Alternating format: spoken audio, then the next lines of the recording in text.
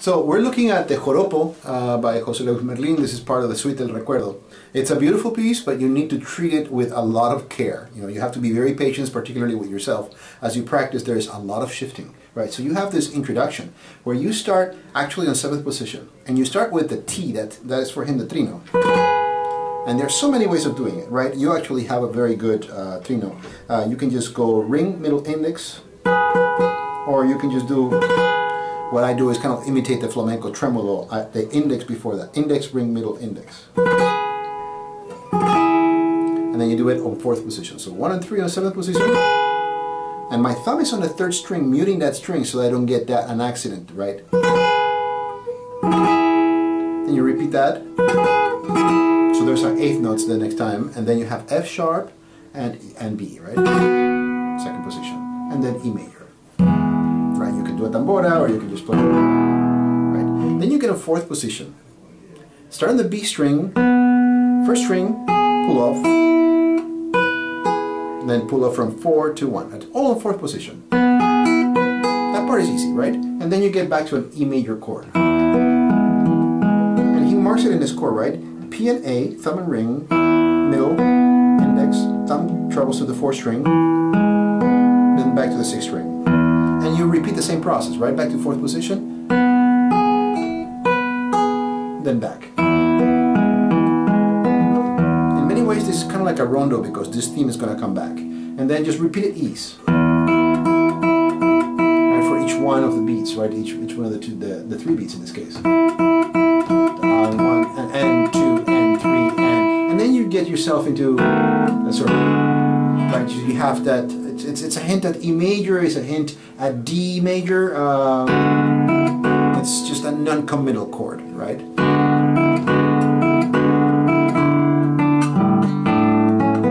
Which kind of works as a dominant of A major, right? So uh, you kind of are an E major, A major. Uh,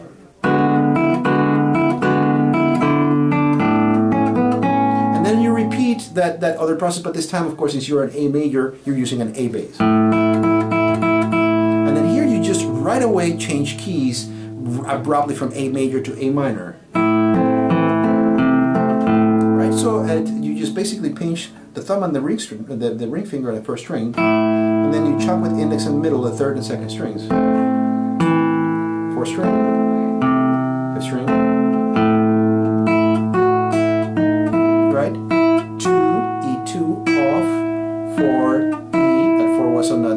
of the second string, and then just treble from second string to first string. So, right, and another thing that, that we have to talk about is very important, very critical to think about positive crossings on your right hand, right? That's not a very positive crossing where you have to turn your hand around to get from middle to index, right? It's a lot easier from index to middle, right? It's better to start with index. So that you do the pull off with middle, then you're in a second string with index, and you reply to that with middle. Right? A lot harder the other way around, right? And you don't want to be doing that, and it, it takes away from the quality of your sound, right? Now you're getting back to E major, right? So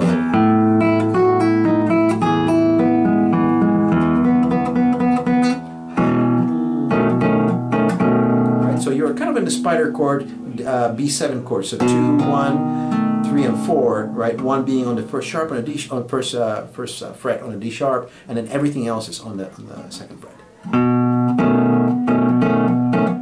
Right. So together with the thumb at first, right away because it's an eighth note, right? Then again, so and you wait longer on the quarter note. And then you have the same rhythm right next door F sharp, B, and D sharp, so you are right with all the fingers lined up in the fourth fret. Your bass, of course, is the A. And here is a little bit of a tricky part, right? So you have that, that I mean, you're thinking, well, why, why is that so tricky? It's because of the next change. So,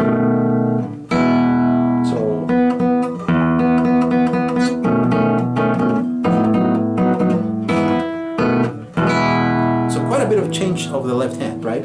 So.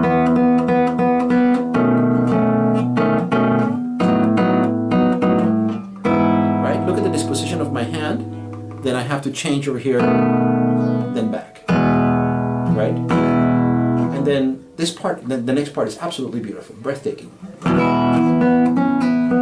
And he has a very fun fingering, right? M, A, this is right hand fingering, right? B, one, two for the A sharp, then B, right? So after the chord, middle, ring, pull off, index, middle, right? And that really sets you up for getting your ring finger to the first string in this next section. So now you're in 6-8 really, so. So.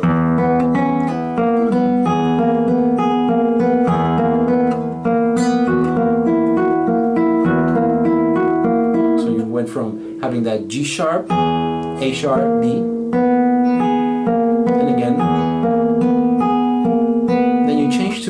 mean, he says to make a mini bar, you don't necessarily need to make a full bar. Then you just move your operation to first position. You were in second position for this, one, two, four, on the fifth fret, right?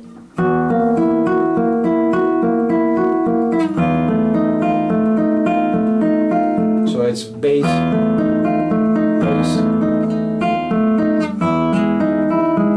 you stay there with your pinky on a, on a D sharp. And he does it again.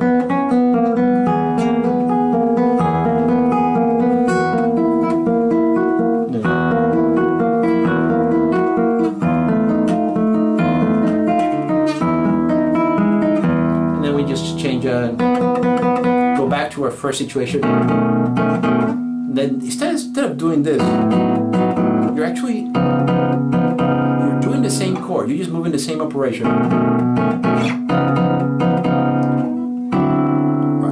Landing right there, so the, the diminished or dominant harmony. So it really is the same chord. Two, one, three, four, two, three, and four on the same fret, one, one fret behind. So together with thumb, fingers al- alone, inside strings, right? Fingers with thumb again. So start with thumb, end with thumb. Then move it to third position.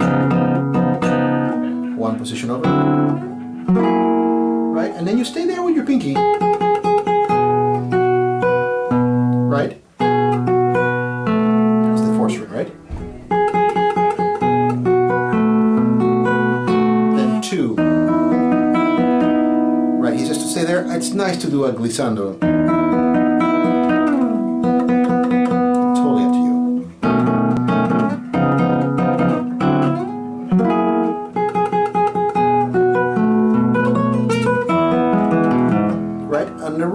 That's a little bit more difficult, right?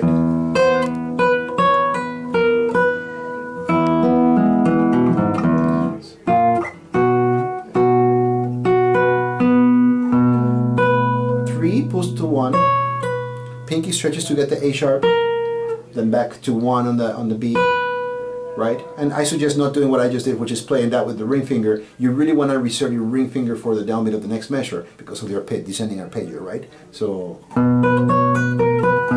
better to start with an index finger, and that way you avoid the unnecessary negative crossing, right? Then ring finger, middle, index, thumb, thumb. He says to hammer with four, right? Um, yeah,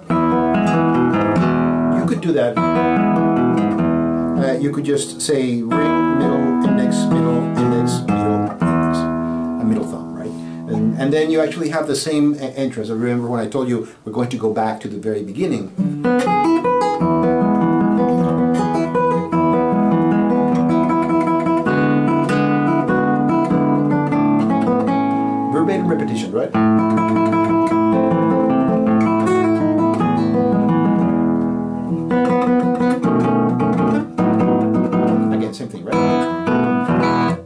Next section, it- which is a run, right? So you have A, B, now you have A again, now it's going to be C, a completely different section, right?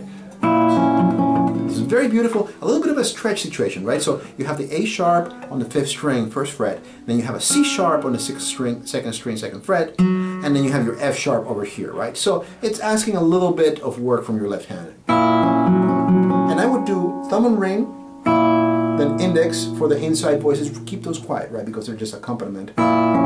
Then thumb is going to do the F sharp.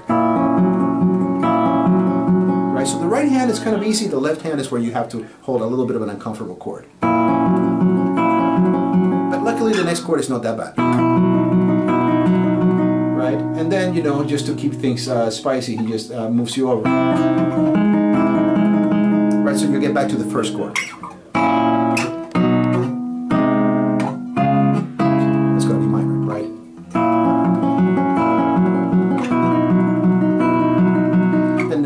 Disposition that you had earlier for the first chord, but in third position. So third, that's in fourth position, and that's in, in sixth position, uh, not position, but fret, right? Uh, fourth fret, uh, and then sixth fret. And then you just move one and two over one fret. And then you replace four with three. You could have kept four. I mean, you really could. Um, I, I prefer to move on to three.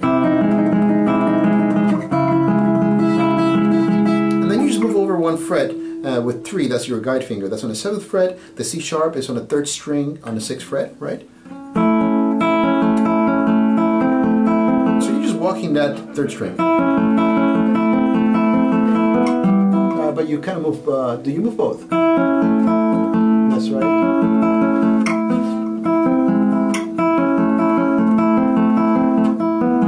So you just wait to move. So you move the, the, the third string first.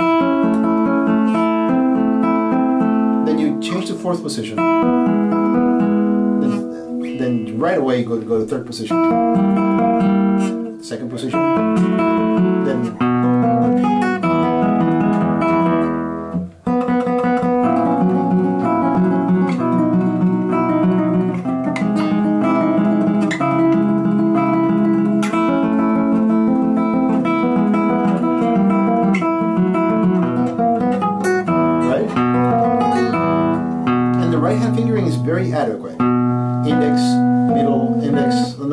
That's not very good.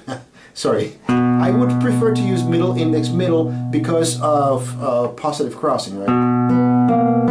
And then use the ring finger. And then you repeat the ring finger, but since there is a pull off right there, you're going to be okay.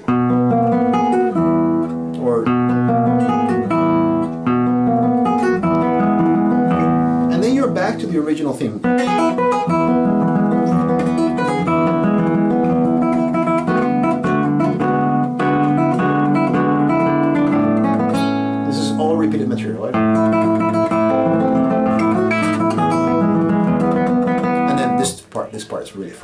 So you get this pampeano, this this this this uh, really fun rhythm.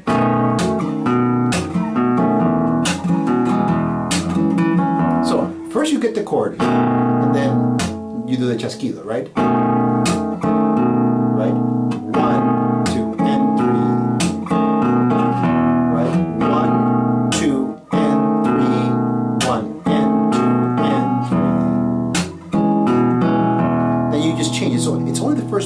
Has a different rhythm. One, two, and three, and then one, and two, and three. One. Change chords right? Four, one, three. And then, of course, two for the B, right? So again. So that, that's kind of like a spider chord, it's a, a B dominant chord. Two, one, three, four, two, three, a four on the same fret. One is for the D sharp. So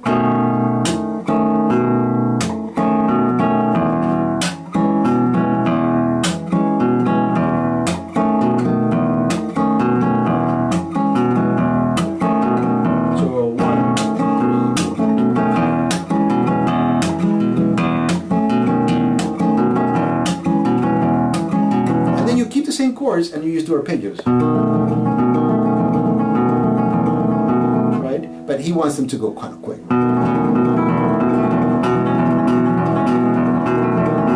At first, just practice them with planting and go very slowly.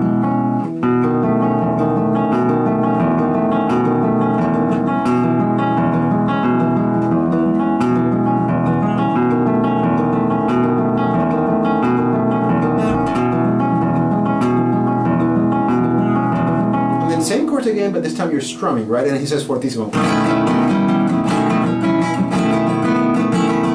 all you're doing is just lifting your pinky from the C sharp. And then you second chord. So the only thing that changes is C sharp or B, right? First chord, B7, second chord E major, but with C sharp added, right?